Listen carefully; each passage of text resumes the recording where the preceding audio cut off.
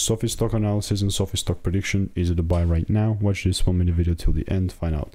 As I'm looking at SoFi Technologies, we're seeing a good $7.76. This is 0.3% off for the day. And as I'm looking at SoFi, I'm really looking forward to take this thing higher, you know, meaning buy, but obviously I'm not just gonna randomly start buying here. It's a strategic approach. And what I mentioned was a strategic way of looking at this like from a range perspective like this. So meaning it would only really make sense for me to buy after we break the lows and we, there's a decent double break here since I look for a double range shift or just a double break like how I call a double break.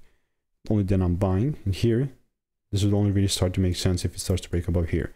And then there's not going to be enough space to you know to jump on that thing. So what I'm going to do is just wait obviously um, previously I've had a lot of kind of receipts with SoFi as well so it is most of the times a waiting game and you just have to be patient you know last man standing wins.